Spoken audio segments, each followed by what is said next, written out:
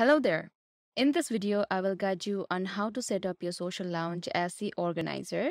Let's get started. First, go to your event dashboard and once you are done setting up everything, simply click on enter event and it will lead you to the reception page. In case of the conference format, you will simply have to click on the lounge at the top and go to your social lounge or it will lead you directly to your social lounge in case of social webinar formats. Now, in order to edit the details of the lounge, simply click on this two line icon.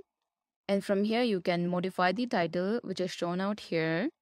You can also modify the subtitle, which is also shown just below the title. And you can also set up the number of tables that you want for your session. Right now, we have 12 tables.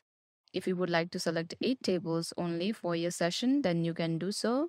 Or you can select as many tables as per your plan and go ahead and save it. As you can see, we only had 12 tables earlier. Now we have 16 tables. In case of numerous tables, one can also search for the tables by clicking on here and typing in the table name. As the organizer, to edit the virtual table, simply hover over it and click on the three dot icon and click on edit. And from here, you can rename the table. You can also upload the image if you would like to add it to your table. You can also set up the number of seats for your table. Right now we have four seats for this table, but you can increase the number of seats to eight by clicking on this plus icon or decrease it by using this minus icon. You can also set up the table settings as fixed or expanding. So whenever you set up your table as expanding, okay, that means once there are four people inside this table, one seat will be automatically added to this table until the maximum number of seats is filled. Now, if I set it out as fixed, then once there are four people inside this table, no one except the event organizer can join you in this table. And as for the table seats, you can have maximum of 8 seats using this plus or minus operation. But if you are in a paid plan, then you can have up to 15 occupancy inside this table. Once done, go ahead and save it. As you can see, now we have 8 tables. We can always modify it by clicking on edit. You can also click on the three dot icon and delete the table if you would like to delete that table. Now, in order to join the table, one can click on this join button. And once you are inside the table, you can also set up the layout of the table as per the number of participants inside your table. You can also enable your camera and mic to communicate or network with others inside this table. If you would like to share your screen, you can click on here and share your screen. This will be active only when there are two or more people inside the table. Now, in case of camera or mic issues, or if you would like to enable the virtual background, then you can simply click on this two line icon. And from here, you can click on this arrow icon and select the desired camera. You can come to the microphone and you can also select the microphone as per your requirements.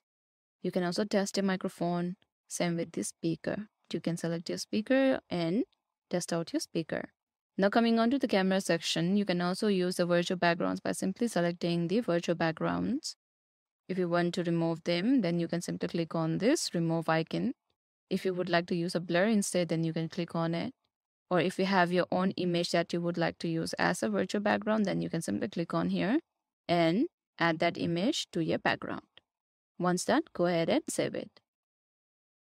You can also invite people to your table by clicking on this invite other buttons. You will have the option to either invite the individuals or invite the public invite individuals is selected by default. You can select the people inside the event and send them the invitation. The people who are invited to your table can either accept or reject your invitation.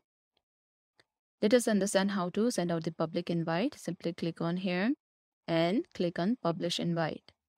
A public invitation will be sent out in the feed section. People can simply click on this join button to join you on the table.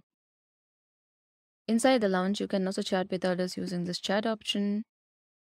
You can also view the table participants by clicking on table participants and see who all are inside this table.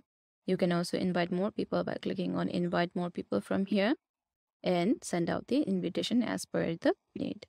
Now, in order to close this section, simply click on this collapse icon and it will be closed. If you would like to minimize this table, then you can simply click on this minimize icon and the table will be minimized at the bottom left. You will still have the option to video and mic. You can also drag and drop this window anywhere inside the screen. Now, if you would like to maximize the screen, then you can simply click on here and maximize the screen.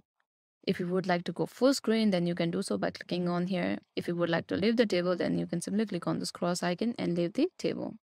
Now, as the event organizer, you can also enable the discussion table for the attendees inside the event. All you have to do is toggle this button on and the attendees will be able to see this and create their own discussion table to have their own private discussions. There is one thing to keep in mind when you have enabled the discussion table. That is, if you go to this two line settings and try to change the number of tables, then you cannot do it when this is enabled. What you have to do is disable it by toggling off. It will prompt you to either delete all the tables now or delete tables when empty.